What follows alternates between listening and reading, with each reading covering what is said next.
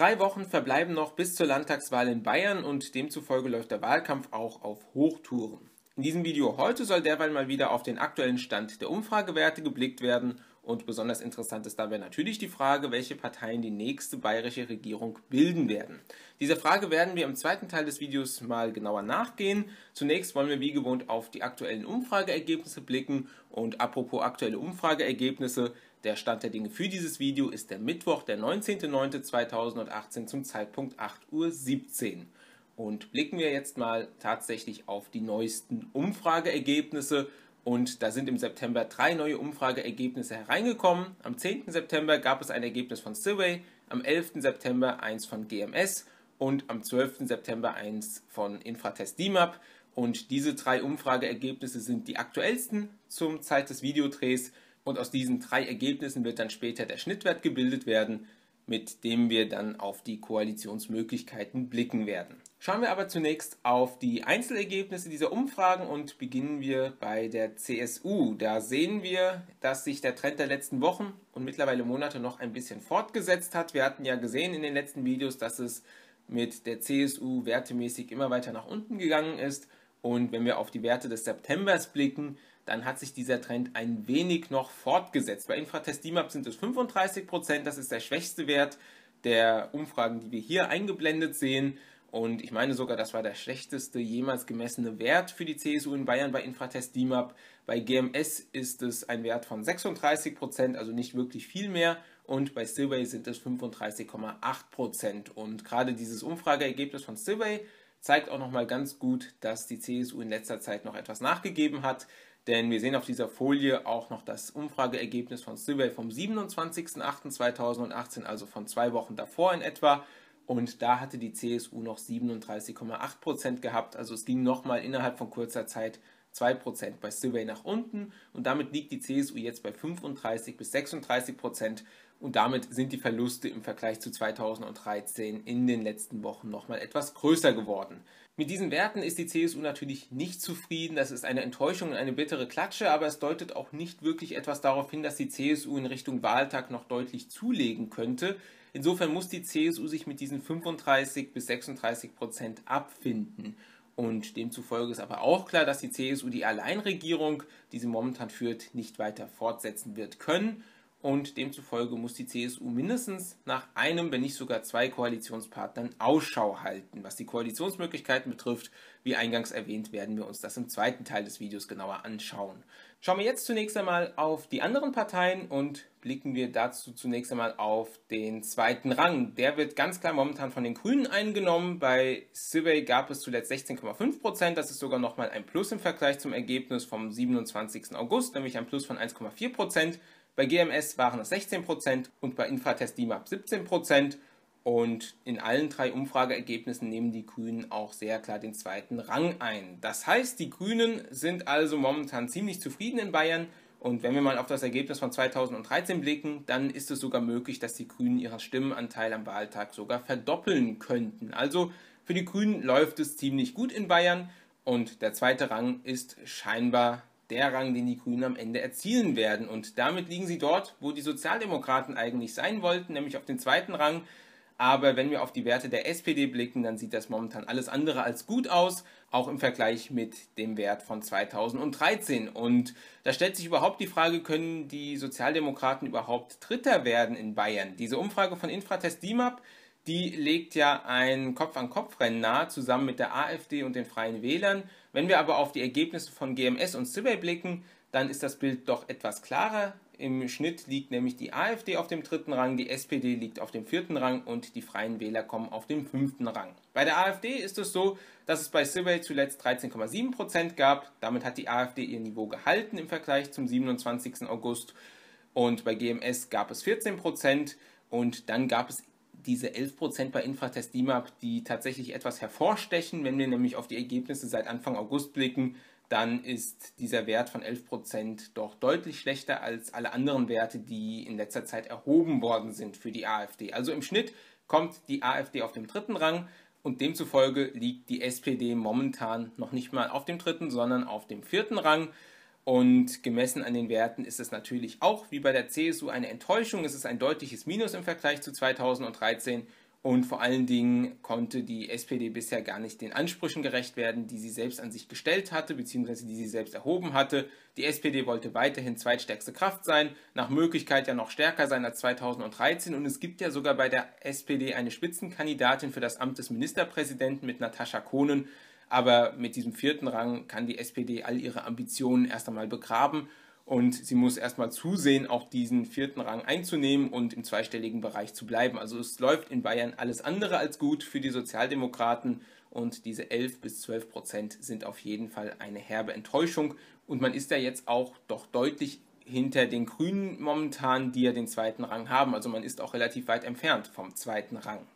Auf dem fünften Rang liegen die Freien Wähler. Die Freien Wähler haben im Laufe des Jahres, vor allen Dingen ab Juni, zugelegt. Davor waren sie ja eher näher an der 5%-Hürde dran als an den 10%. Jetzt ist es so, dass sie im Grunde genau dazwischen liegen, in der Regel zwischen 7 und 8%. 8,1% gab es auch bei Silvey zuletzt.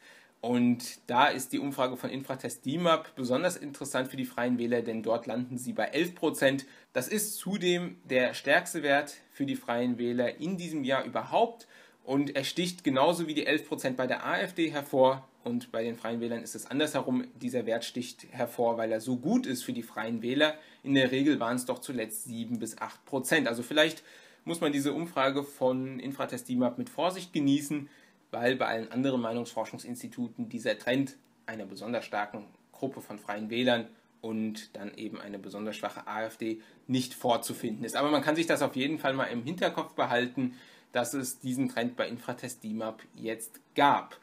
Wer könnte es noch in den nächsten Bayerischen Landtag schaffen? Da sollte man auf jeden Fall noch die FDP erwähnen. Sie liegt im Grunde konstant immer oberhalb oder mindestens genau auf 5%.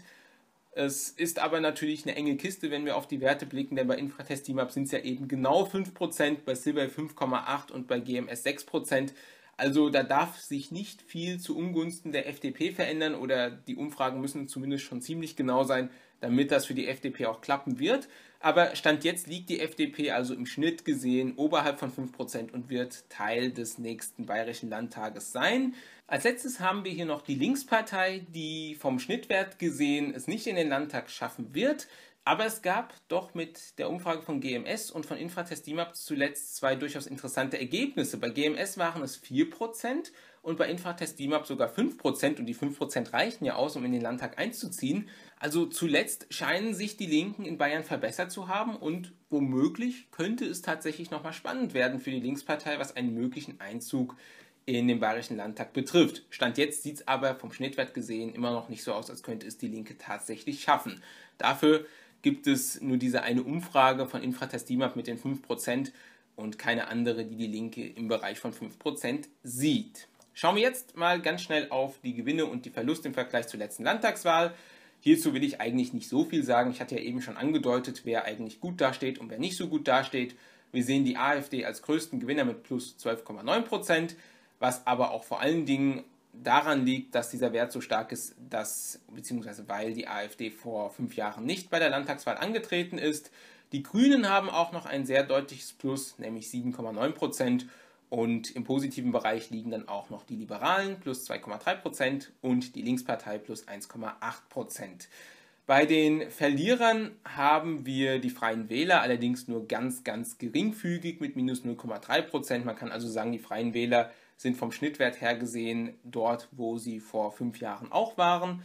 Die sonstigen verlieren 3,6 Prozent und dann hat man diese beiden großen Verlierer, die SPD minus 8,9 Prozent und die CSU minus 12,1 Prozent.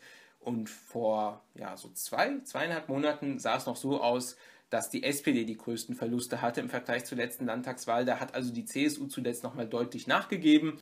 Und genau dieser Trend wird nochmal sehr klar bestätigt, wenn wir nämlich auf die Veränderungen der Schnittwerte zwischen Mai 2018 und den aktuellen Schnittwerten blicken, dann sehen wir nämlich, hat die CSU innerhalb der letzten zweieinhalb Monate 6,1 Prozent eingebüßt. Also da ging es nochmal richtig nach unten für die CSU. Und dieser Asylstreit Ende Juni, Anfang Juli hat eben der CSU auf Landesebene überhaupt nicht gut getan. Verloren haben dann als einzigen auch noch die Sozialdemokraten minus 1,2 Prozent. Alle anderen Parteien haben einen positiven Wert und vor allen Dingen die Grünen haben eben in den letzten zweieinhalb Monaten in Bayern nochmal deutlich zugelegt.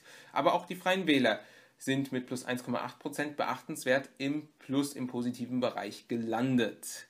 Schauen wir jetzt mal auf die Koalitionsmöglichkeiten. Stand jetzt würden es gemessen am Schnittwert sechs Parteien in den Bayerischen Landtag schaffen.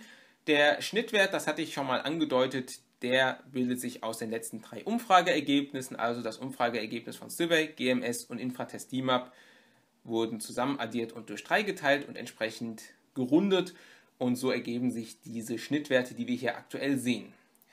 Die absolute Mehrheit liegt demzufolge bei 45,6 Prozent. Wenn wir auf die CSU blicken, dann sehen wir, sind das mittlerweile 10 Prozent, die zur absoluten Mehrheit fehlen. Also da sieht man mal, wie weit die CSU von der absoluten Mehrheit momentan weg liegt, entfernt liegt. Und demzufolge hatte ich ja schon erwähnt, dass die CSU Koalitionspartner braucht. Und da stellt sich die Frage, mit wem will man denn eigentlich koalieren?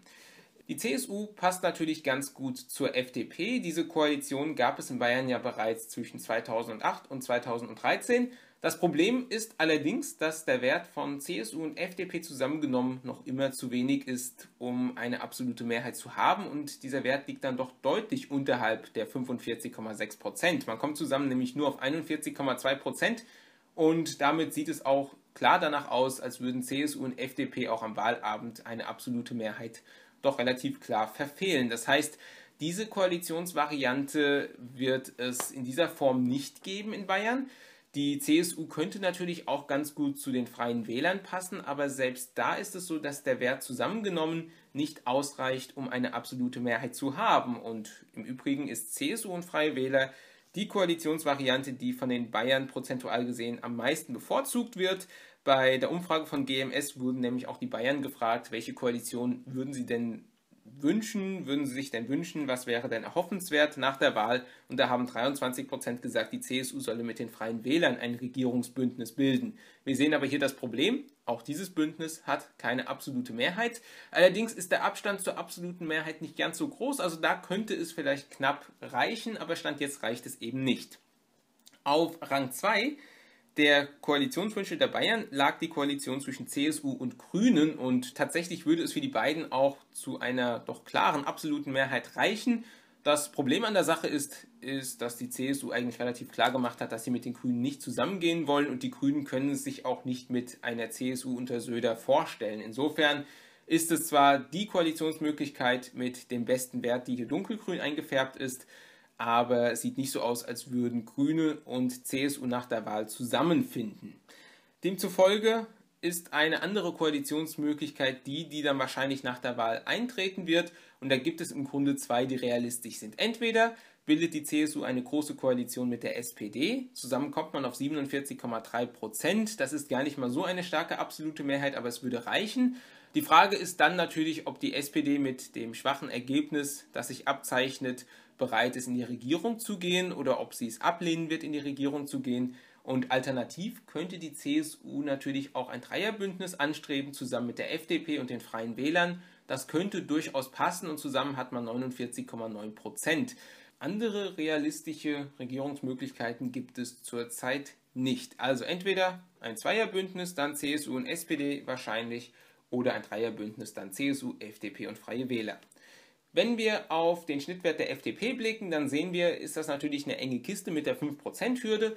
Demzufolge schauen wir uns jetzt auch mal den Fall an, dass die FDP es nicht in den Bayerischen Landtag schaffen wird. Das heißt, sie verfehlt wahrscheinlich dann eher knapp die 5%-Hürde. Also ich glaube nicht, dass sie dann deutlich die 5%-Hürde verfehlen wird, aber gehen wir mal davon aus gerade, dass die FDP es nicht auf 5% schaffen wird.